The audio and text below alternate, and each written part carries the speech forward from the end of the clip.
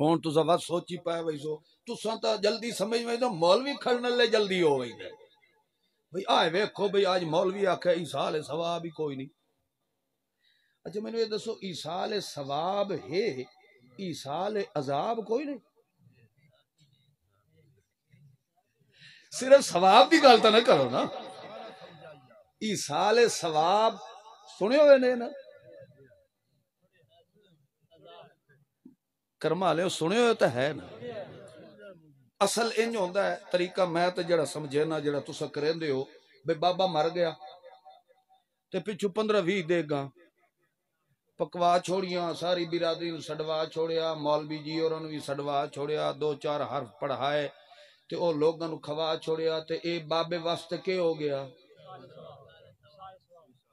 ਉਹ ਜਿਹੜੇ ਕਰੇਂਦੇ ਰਹਿੰਦੇ ਉਹ ਤਾਂ ਬੋਲੋ, ਅੱਲਾ ਦੇ ਬੰਦੇ सारे खावण वाले बैठे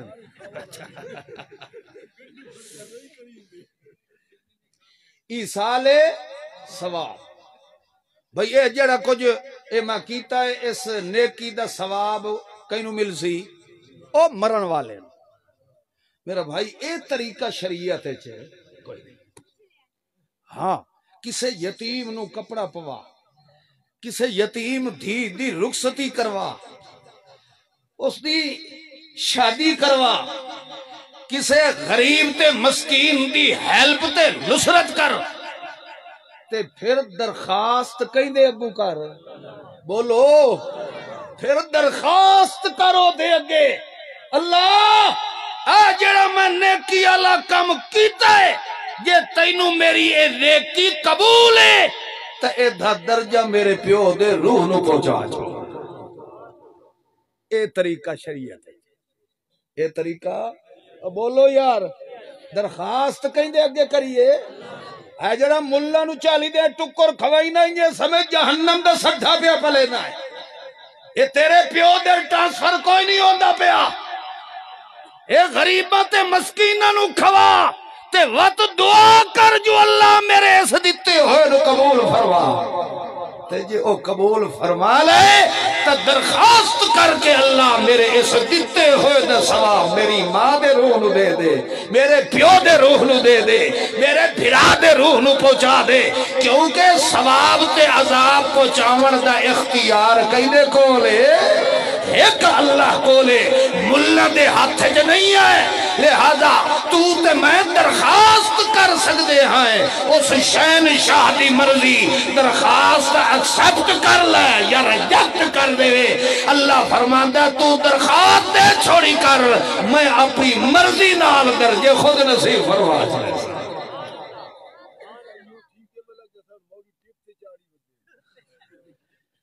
मौलवी का काम ही टिप चाड़ना होता है ਉਹਨਾਂ खवा खवा ਖਵਾ ਖਵਾ ਮੇਰਾ या मेरे ਮੇਰੇ तेरा ਤੇਰਾ ਖਾਦ ਹੋਇਆ ਤੇਰੇ ਵਿੱਚ तो अपने हिस्से की नमाज़ पढ़नी, मैं अपने हिस्से की नमाज़ पढ़नी। तो अपने हिस्से का रोजा रखना है, मैं अपने हिस्से का रोजा रखना है। मैं अपने हिस्से की इबादत करनी है तो अपने हिस्से की इबादत करनी है। अल्लाह फरमाता अल्लाह सलिल इंसान इल्ला मासा दिन कयामत दे तेरे सामने वो कुछ हो सी जेड़ा कुछ तू आप मेहनत करके आया। कह दिया नेकियाँ कह दे खाते च। कोई जेड़ा असल तरीका है ईसाल सवाब दा, ओ ए है कि कायशा खवावन पिवावन तो इलावा अपनी हर नमाज़ दे बाद उन्हां दे हक च दुआए मगफरत कीती करो। अल्लाह साढ़े बुज़ुर्गों की मफरत फरमा।